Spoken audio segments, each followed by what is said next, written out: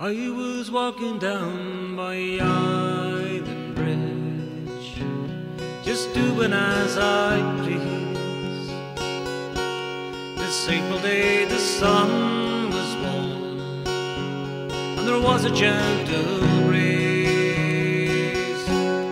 I wandered up the old stone steps into the Phoenix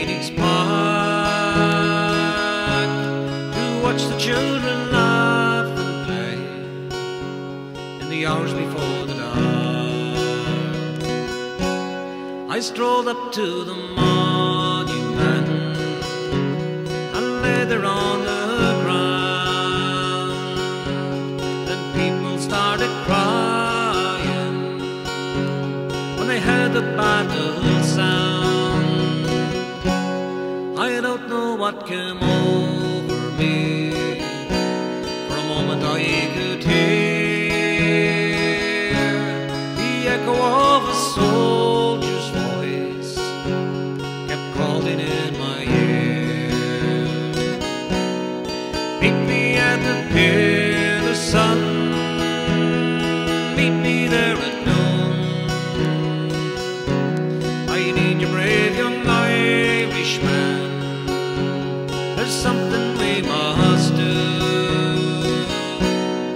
Meet me at the Pillar,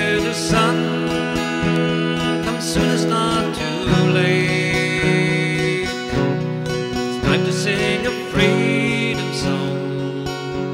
Come soon, I cannot wait.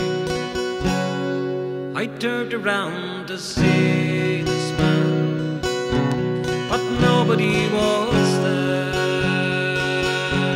In the distance, I could hear the drums, yet a stillness filled the air.